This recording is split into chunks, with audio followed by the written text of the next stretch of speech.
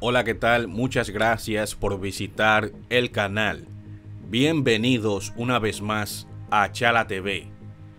Desarticulan red que traficaba haitianos al país. Arrestan a 15 personas, incluyendo miembros del ejército.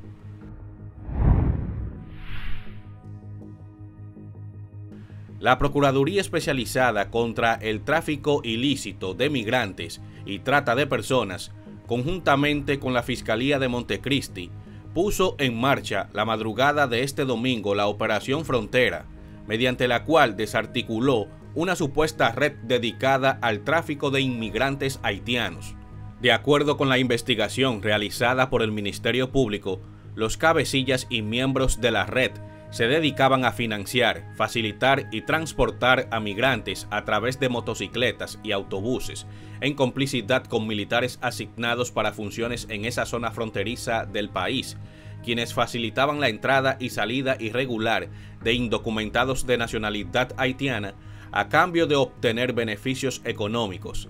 En la operación desplegada en la zona fronteriza norte, que comprende las provincias de Montecristi y Dajabón, fueron arrestados Eddie Rafael Cordero Villanueva y Osiris Rafael Esteves Fortuna, quienes han sido identificados como cabecillas de esta red de tráfico de migrantes desde Haití. Otros de los miembros de esta red que fueron arrestados son Elvio José Castillo Martínez, Hilario Antonio Gómez Paul, Santo Valerio Contreras, Anelvi Susaña Guzmán, Jesús María Cerda Acosta,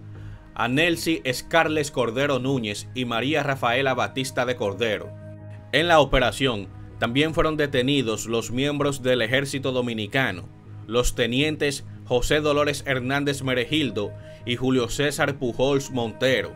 los sargentos Mayor Rafael Contreras y Rafael Zavala Peña y el cabo Sandro Liranzo Javier.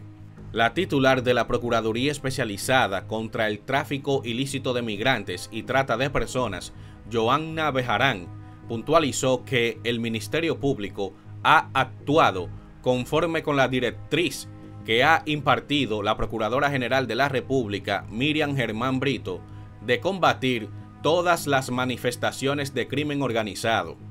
se pudo desmantelar esta organización criminal que operaba en la frontera norte, especialmente en la provincia de Montecristi, desde donde lograron trasladar a cientos de inmigrantes haitianos e introducirlos a territorio dominicano debido a que su cabecilla reside en la zona y contaba con la complicidad de los miembros arrestados del ejército dominicano que en el desempeño de sus funciones se encontraban habilitados para resguardar y proteger la frontera de nuestro país, quienes permitieron el tráfico ilícito de cientos de nacionales haitianos hacia territorio de la República Dominicana, indicó Bejarán.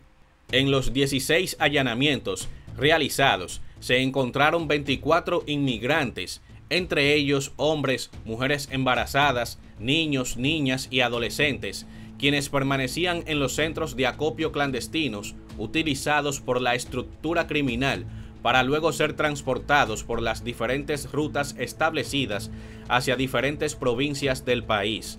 En las próximas horas, el Ministerio Público solicitará medida de coerción en contra de los imputados en la Oficina Judicial de Servicios de Atención Permanente de Montecristi por violación al tipo penal de tráfico ilícito de migrantes, previsto y sancionado en los artículos 2 y 7, literales B, C, D y E de la Ley 137-03 sobre tráfico ilícito de migrantes y trata de personas, los artículos 265 y 266 del Código Penal Dominicano, que tipifican como un delito la trata y tráfico de personas.